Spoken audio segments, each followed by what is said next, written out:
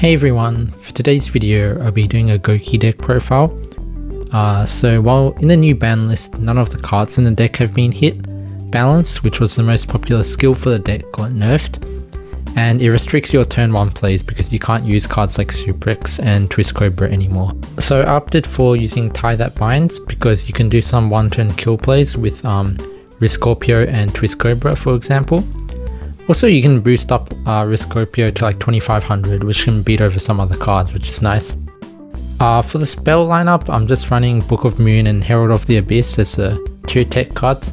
Book and Canadia are interchangeable for the most part. Book obviously you can use it turn 1 which is nice but with Canadia you can summon it back and then tribute it with Econ or Ballista Squad which is also good but I think Book is probably better so if you have more books you can run Book.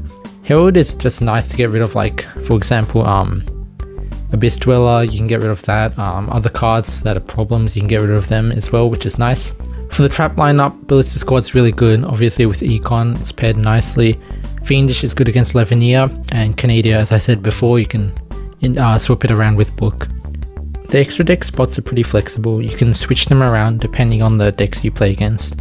But I would say uh, Malevolence in Guy Dragon and Nightmare Shark probably the staples. So the remaining four cards, you can switch them around. Cards like Abyss Dweller and Steelswarm Roach might be nice. So yeah, um, that's the deck profile and onto the gameplay.